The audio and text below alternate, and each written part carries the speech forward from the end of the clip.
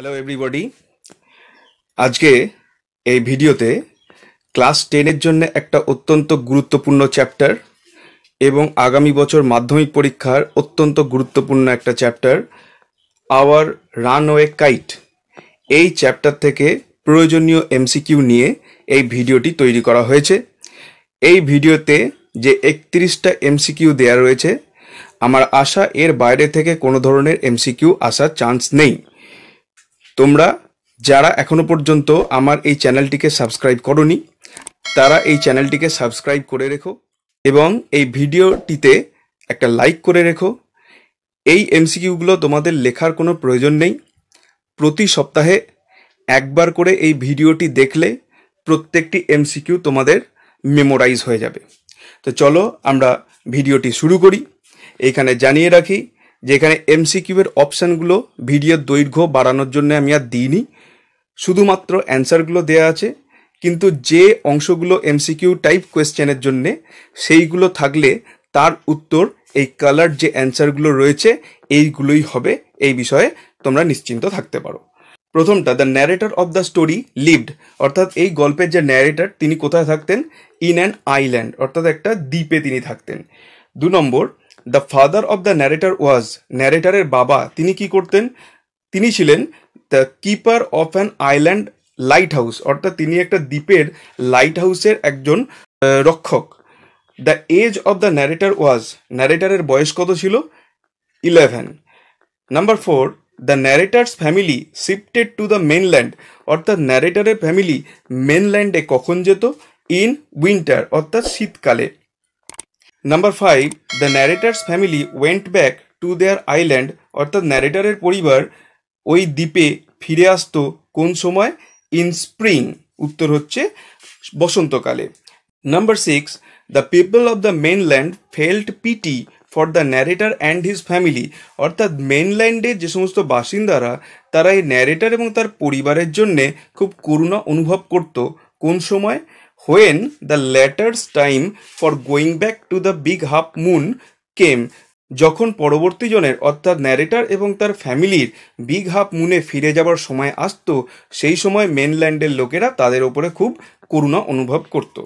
Number seven when the people pitied the narrator and his family যখন মেইনল্যান্ডের মানুষেরা narrator এবং তার ফ্যামিলির প্রতি করুণা প্রদর্শন করত it appeared funny to them অর্থাৎ ন্যারেটার এবং তার ফ্যামিলির কাছে এটা খুব ফানি অর্থাৎ খুব মজার বলে মনে হতো। Number eight they said we must be lonesome over there here they refer to এই যে কথাটা বলা হয়েছে যে আমরা ওখানে গিয়ে খুব একাকী থাকব, এখানে দে বলতে কাদের বোঝানো হয়েছে? দে বলতে এখানে the people of the mainland অর্থাৎ মূল ভূখণ্ডের যে সমস্ত বাসিন্দা, তাদের কথা বলা হয়েছে। Number nine the keeper of the big half moon lighthouse was অর্থাৎ বিগ হাফ মুন লাইট হাউসের রক্ষক কে ছিলেন?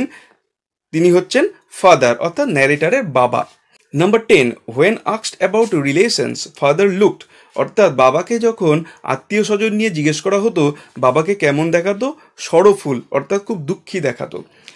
Number eleven this used to puzzle Claudie and me এটা ক্লডি এবং আমাকে বেশ বিভ্রান্ত করে তুলতো। Here this refers to the question এখানে দিস বলতে কোন প্রশ্নটার কথা বলা হচ্ছে? প্রশ্নটি হলো why the narrator and Claudie had no relation কেন ন্যারেটারের বা ক্লডির কোনো রিলেশন অর্থাৎ আত্মীয় নেই? Number twelve when the narrator আক্সড her father why they had no relation the latter said যখন ন্যারেটার তার বাবাকে জিজ্ঞাসা করেছিল যে আমাদের কেন কোনো আত্মীয় নেই, তখন ল্যাটার অর্থাৎ পরবর্তীজন মানে এখানে বাবা, বলেছিলেন that it was all his fault যে এটা সমস্তটাই তার ভুলের জন্যে হয়েছে। Number thirteen the life on the big half moon was lovely to the narrator অর্থাৎ বিগ হাফ মুনে ন্যারেটারের কাছে জীবন কখন খুব আনন্দজনক হয়ে উঠত সেটার সঠিক উত্তর হচ্ছে ইন সামার অর্থাৎ গ্রীষ্মকালে। Number fourteen the narrator and Claudie had some hobby অর্থাৎ ন্যারেটার এবং ক্লডির কিছু শখ তৈরি হতো কোন সময়ে? এভরি সামার প্রত্যেক গ্রীষ্মকালে। Number fifteen the last summer the narrator and Claudie were crazy about গত গ্রীষ্মকালে ন্যারেটার এবং ক্লডি ক্রেজি হয়েছিল কি নিয়ে? ফ্লাইং কাইটস অর্থাৎ ঘুড়ি ওড়ানো নিয়ে। Number sixteen Claudie was shown how to make a kite by ক্লডিকে কে দেখিয়েছিল, ঘুড়ি কি করে তৈরি করতে হয়, সেটার উত্তর হচ্ছে a boy on the mainland অর্থাৎ মূল ভূখণ্ডের একজন ছেলে এটা ক্লডিকে শিখিয়েছিল। Number seventeen the narrator and Claudie had a big kite which was covered with narrator এবং ক্লডি একটা বড় ঘুড়ি তৈরি করেছিল, যেটা কভার করা হয়েছিল, যেটাকে আবৃত করা হয়েছিল কি দিয়ে? রেড পেপার অর্থাৎ লাল কাগজ দিয়ে। Number eighteen the kite was patched with কাইটটা patch অর্থাৎ চেটানো হয়েছিল কি দিয়ে? এ লেটার দিয়ে, একটা চিঠি দিয়ে। Number nineteen the narrator and Claudie rushed into the lighthouse narrator এবং ক্লডি লাইট হাউসে ছুটে গেছিল কিসের জন্যে? টু গেট সাম পেপার কিছু কাগজের জন্যে। Number twenty an old letter was lying একটা পুরনো চিঠি পড়েছিল কোথায়? অন দ্য বুক কেস বইয়ের তাকে। Number twenty one Claudie was standing foolishly because Claudie বোকার মতো দাঁড়িয়েছিল। কারণ কি?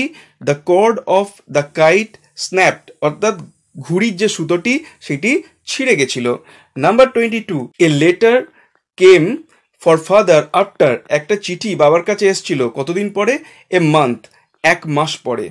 Number twenty three father had বাবার ছিল কারা? A brother and a sister একজন ভাই এবং একজন বোন। Number twenty four father left home after quarreling with বাবা বাড়ি ছেড়েছিলেন ঝগড়া করে। কার সাথে? হিজ ব্রাদার তার ভাইয়ের সাথে। Number twenty five years afterwards he felt sorry অনেক বছর পরে তিনি দুঃখ অনুভব করেছিলেন। হেয়ার হি রেফার্স টু এখানে হি বলতে কাকে বোঝানো হয়েছে? দ্য ন্যারেটার্স ফাদার অর্থাৎ ন্যারেটারের বাবাকে বোঝানো হয়েছে। Number twenty six when father went back to the mainland he found যখন বাবা মেনল্যান্ডে আবার ফিরে গেলেন, তিনি দেখলেন কি? হিজ ব্রাদার ওয়াজ ডেড অর্থাৎ তার ভাই মারা গিয়েছে। Number twenty seven aunt Esther was aunt Esther কে ছিলেন? The mother of Dick and Mimi তিনি ছিলেন ডিক এবং মিমির মা। Number twenty eight the snap kite was discovered by ওই যে ছিঁড়ে যাওয়া ঘুড়িটা, সেটা কারা খুঁজে পেয়েছিল? অ্যান্সার হচ্ছে ডিক and Mimi Dick R Mimi খুঁজে পেয়েছিল। Number twenty nine the snap kite was discovered ছিঁড়ে যাওয়া ঘুড়িটাকে কোথায় পাওয়া গিয়েছিল? On the top of a tree অর্থাৎ একটা গাছের মগ ডালে। Number thirty the name of narrator's grandmother was ন্যারেটারের গ্র্যান্ডমাদারের নাম কি ছিল? ফিলিপ্পা অ্যান্সার হলো number thirty one total number of family members in the narrator's family at present was অর্থাৎ বর্তমানে ন্যারেটারের পরিবারে টোটাল ফ্যামিলি মেম্বার সংখ্যা কত? সিক্স রাইট অ্যান্সার হচ্ছে সিক্স তো এই একত্রিশটা MCQ type question with answer তোমরা প্রিপেয়ার করে রাখো। এই ভিডিওটাকে প্রতি সপ্তাহে অন্তত এক থেকে দুবার করে দেখতে থাকো। তোমাদের এই চ্যাপ্টারের এমসিকিউ নিয়ে আর কোনো সমস্যা হবে না। আমার চ্যানেলটিকে তোমরা অবশ্যই লাইক করে রেখো, সাবস্ক্রাইব করে রেখো, কারণ এই ধরনের ভিডিও আগামী দিনে আমি আরও আনতে থাকব। Thank you